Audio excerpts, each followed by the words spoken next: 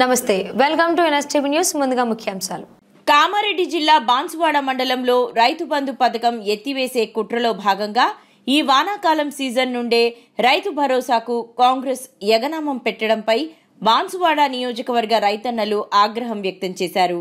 రైతన్నలకు మద్దతుగా BRS party పిలుపు మేరకు బాన్సువాడ పట్టణంలో అంబేద్కర్ చౌరస్తాలో ధర్నా చేస్తూ ఈ సందర్భంగా Banswada municipal vice chairman Zubair గారు మాట్లాడుతూ నెలలుగా రైతు భరోసాపై ఆశలు పెట్టుకున్న రైతాంగానికి రాష్ట్ర కాంగ్రెస్ సర్కార్ మొండి చేయి చూపింది. ఆర్గాలం కష్టపడుతున్న రైతన్నకు నేటికి రైతు భరోసా ఇవ్వకపోవడం అత్యంత దుర్మార్గం. రైతు భరోసా విధి విధానాలతో రైతు బంధు పథకాన్ని శాశ్వతంగా ఎత్తగొట్టే కుట్రలు చేస్తుంది కాంగ్రెస్ సర్కార్ అని విమర్శించారు. తెలంగాణ!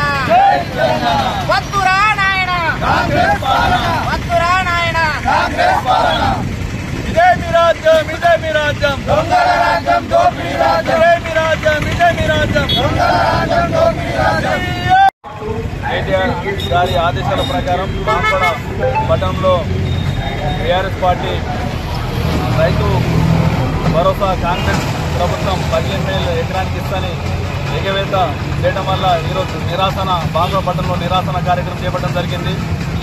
రేవంత్ రెడ్డి కాంగ్రెస్ ప్రభుత్వం వచ్చిన తర్వాత రెండు లక్షలు డిసెంబర్ తొమ్మిదిన్నర మాఫీ చేస్తాను సంవత్సరం గడుస్తున్నా కానీ రెండు లక్షలు పూర్తిగా మాఫీ చేయడం జరగలేదు.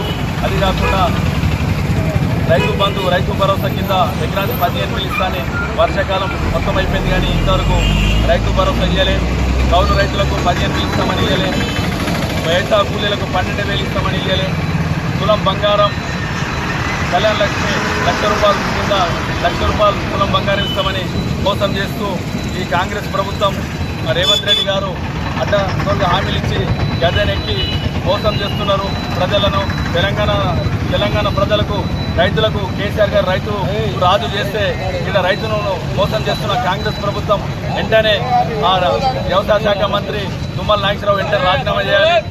ప్రజల రైతులకు క్షమాపణ చెప్పాలని మేము మా బీఆర్ఎస్ పార్టీ తరఫున డిమాండ్ చేస్తున్నాము. అదే కాకుండా లోకల్లో శాసనసభ్యులు గారు ఉన్నారు వ్యవసాయ సలహాదారులు ఉన్నారు.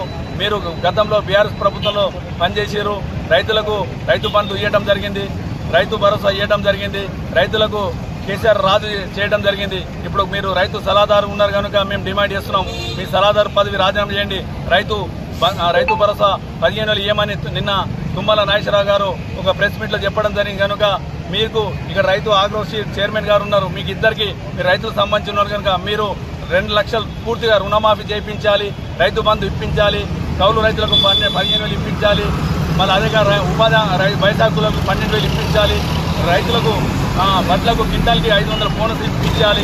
ఇప్పుడే మా సన్న మాటలని మా మాటలు మార్చడం జరుగుతుంది కనుక కాంగ్రెస్ ప్రభుత్వానికి గద్దె దించే వరకు ప్రజలకి రైతుల పక్షాన ప్రజల పక్షాన ప్రతి విషయంలో మేము టీఆర్ఎస్ పార్టీన పోరాటం చేస్తుంటాము ఎక్కడికి వదలము. ఇక్కడికి వెళ్ళి కళ్యాణ లక్ష్మి చెక్కులు పంచేటప్పుడు గులాం బంగారం ఇచ్చినాక వదిలే ప్రసక్తే లేదు. ఎందుకంటే మాయ మాటలు చెప్పి నాలుగు వందల ఇరవై దొంగ హామీలు చెప్పి ప్రభుత్వం ఏర్పాటు చేయడం జరిగింది కాంగ్రెస్ ప్రభుత్వం. ఇక్కడ కేసీఆర్ గారు రైతును రాజు చేస్తే రైతును మోసం చేసిన ప్రభుత్వం ఏదంటే కాంగ్రెస్ ప్రభుత్వం అని డిమాండ్ చేస్తున్నాం. జై తెలంగాణ!